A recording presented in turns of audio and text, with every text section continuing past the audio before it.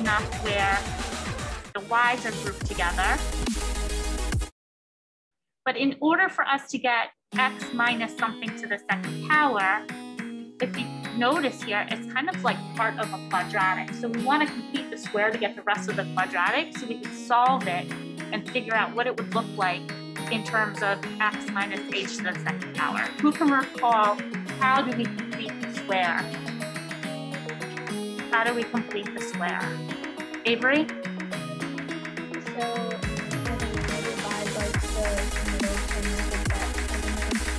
So, in, yeah, divided by 2 and then squared. Mm-hmm. That's the formula for completing the square. So if you forgot that, write it on your paper. Remember that standard notation of a quadratic is uh, y equals ax squared plus bx plus c. So I'm always taking the b, the coefficient of that term, okay? Go ahead, Avery. I'm sorry to interrupt. Uh, so then we take negative 4 divided by 2, um, negative 2 squared is the square. Right. So that would get us to four. And once I add to the left side, I have to add to the right side because this isn't an equation, right? They're equal to each other, so I want to keep them balanced. Sure. Right, and now we need to do the same thing with the y. Okay, so I'm completing the square for the x's, and now I want to complete the square for the y.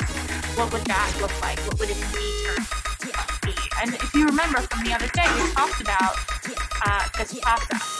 Um, remember, we're making a perfect square trinomial so that it's easy peasy for us to factor it.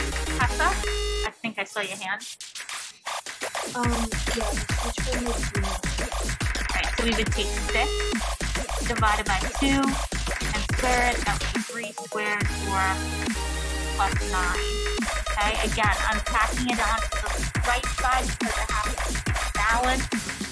And now I have a perfect square trinomial and a perfect square trinomial. So it should be very easy for us to factor at this point. What is x squared minus 4x plus 4 factor?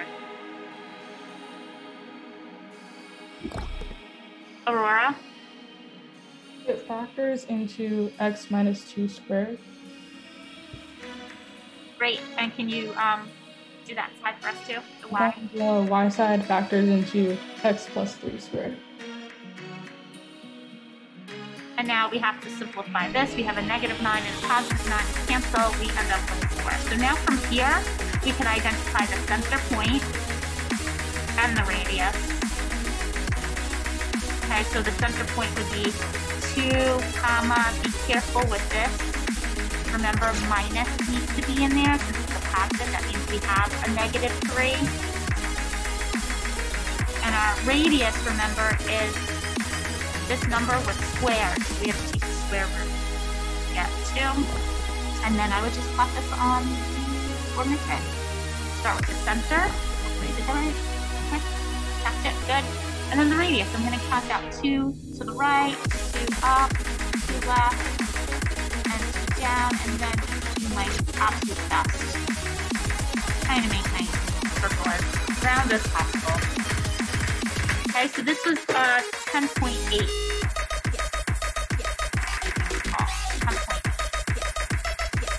Any questions? Uh. I like to. Alright, so um, our whole goal for today is like talking about angles and arcs. Uh, in particular, we're talking about central angles and then the that they're creating. Um, a central angle of a circle has its vertex at the center, and its sides contain two of the circle's radii. Remember we talked the other day that a circle has infinitely many radii, radii or diameters. Okay, so we're just talking about that uh, they contain two of the circle's radii. And the sum of the circle's central angles totals 360. So we're basically saying that if we have a circle, here's the center. Say this is A, B, and C. You have, in this particular case, two central angles because you would have um, B, A, C, and also this central angle that is, um, you know, opposite of it, BAC going in the other direction. Uh, it also means that we would have two arcs. We have arc, a little curve, BC, right here. And we also do have arc uh, B, B going in the other direction. Okay. Usually they give us more than two uh, central angles to identify, so um, no, it's easier to identify and they are. So basically we know that this is a circle, it totals 360 degrees. Um, and all we're exploring today are the different types of lengths and using, uh, sorry, and using that information to find uh, values. So for example,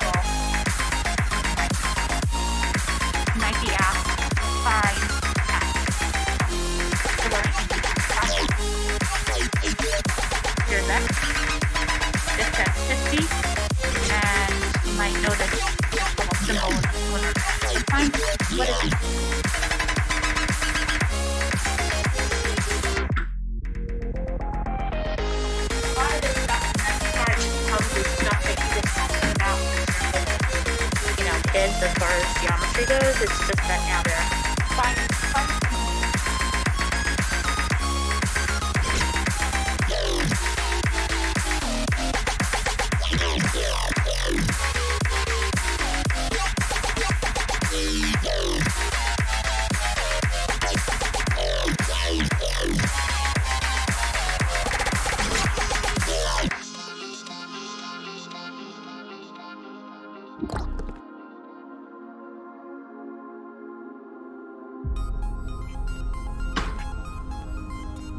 All right. So how'd it go? What do you have to do for this?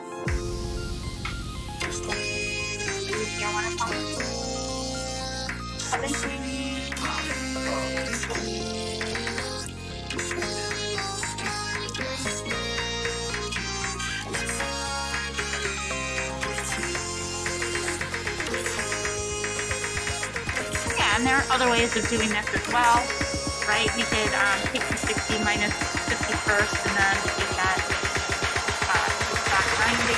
We could add together 50 and 90 and then back that total. However you decide to do it, is your business. Um, at this point, they most likely want to see an algebraic equation of some sort. So if you start with this, you know, um, you'll balance. And on the best test, know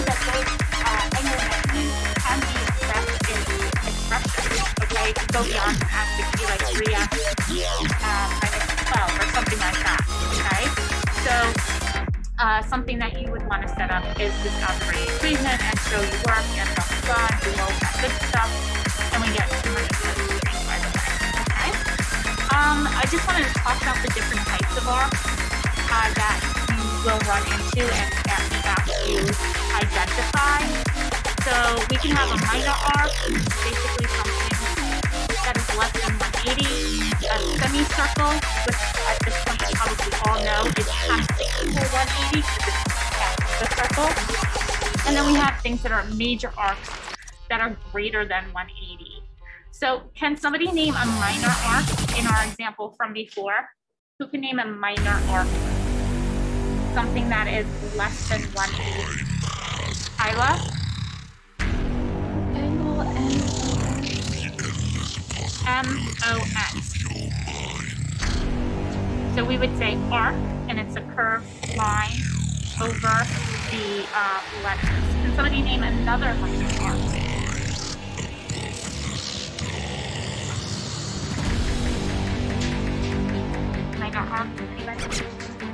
Ella? I'm sorry, say it nice loud. NOP, yeah. NOP. Can somebody name a semicircle?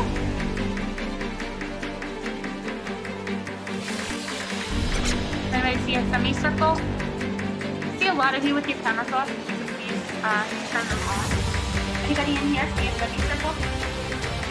No, there's no semi- semicircle here. What about a major arc?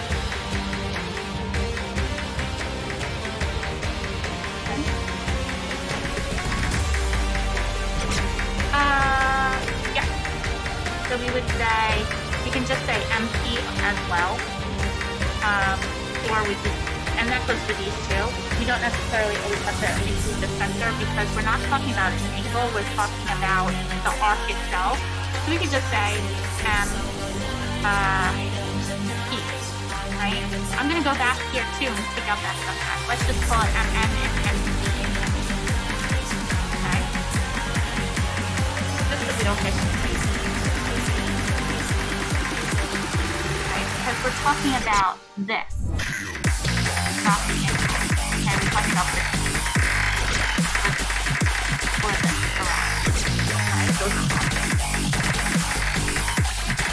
And very similar to like triangles and all that other good stuff that we talked about along the way. Probably, you know, grade. We have be congruent to each other. Um, they can be either in the same circle or if you have a congruent circle, meaning same size, same shape. Okay? It doesn't have the same. Adjacent arcs, remember when you were younger, you talked about uh, angles. When we had intersecting, um, you know, when we had parallel lines that, that intersected, right? Um, we can have now adjacent arcs.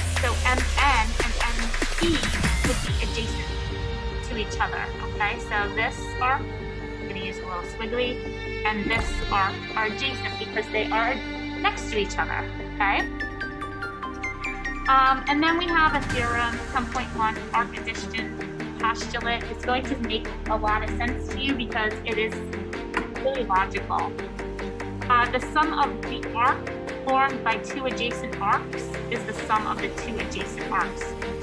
Okay, very confusing when we read it, but it's basically saying that MP, so arc MP equals the sum of MN plus NP. Okay, so MP equals the arc of MN plus the arc of NP. That's all it's saying. And it's called theorem um, 10.1 arc.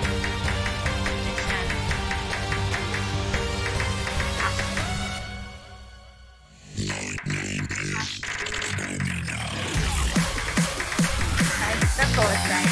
It sounds really confusing for those who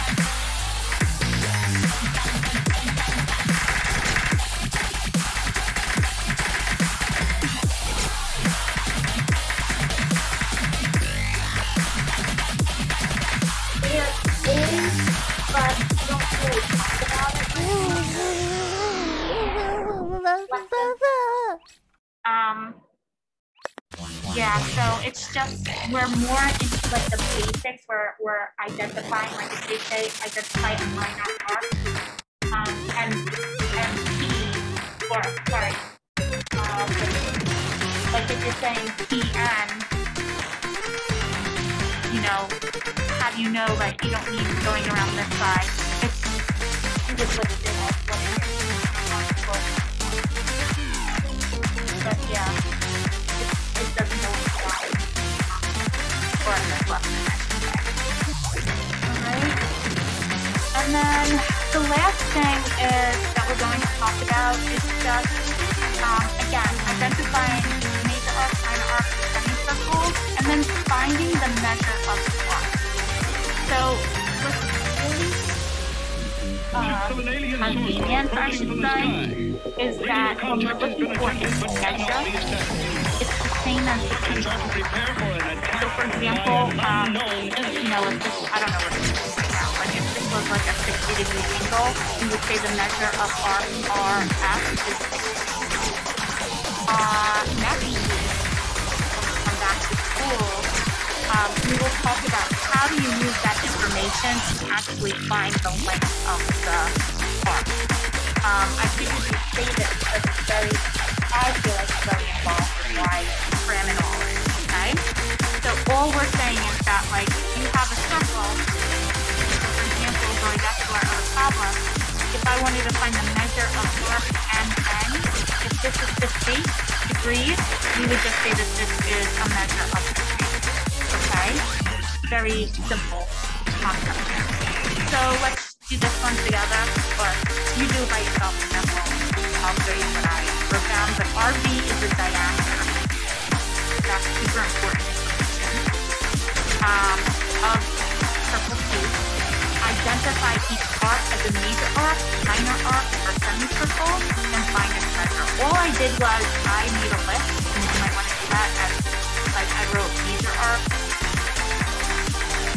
minor arc, and semicircles, and then I just lifted the arcs underneath it with this measure. Um, that might be the